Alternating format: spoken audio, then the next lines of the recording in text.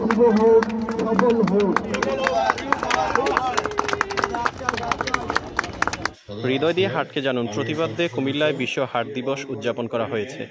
দিবসটি উপলক্ষে আলোচনা সভা, র্যালি ও বেলুন উড়ানো হয়। শুক্রবার সকালে নগরীর টাউন হল রুমে আলোচনা সভায় বক্তব্য রাখেন অতিথিমণ্ডলী কুমিল্লা হার্ট কেয়ার ফাউন্ডেশন ও রোটারি ক্লাবের আয়োজনে প্রধান অতিথি ছিলেন সদর আসনের সংসদ সদস্য, বীর মুক্তিযোদ্ধা আকম বাহাউদ্দিন বাহার। মুখ্য আলোচক হিসেবে বক্তব্য রাখেন কুমিল্লা হার্ট কেয়ার ফাউন্ডেশনের প্রতিষ্ঠাতা ও সভাপতি ডাক্তার তৃপ্তিশ চন্দ্র ঘোষ। ডাক্তার মল্লিকা বিশ্বাসের সভাপতিত্বে বক্তব্য রাখেন rotary district governor engineer Mohammad Motiur Rahman, জেলা সমাজসেবা কার্যালয়ের উপপরিচালক জেড এম মিজানুর রহমান খান। এ সময় ডাক্তার, সাহিত্যিক, সাংবাদিক, শিক্ষার্থী সহ কুমিল্লার সুদীজন উপস্থিত ছিলেন।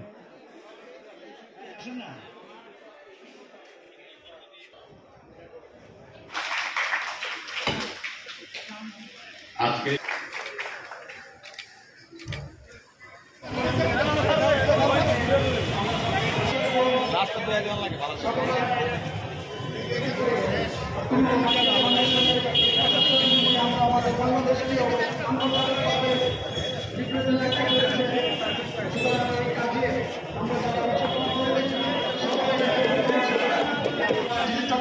আরে চিকিৎসা কার্ড আছে না তো?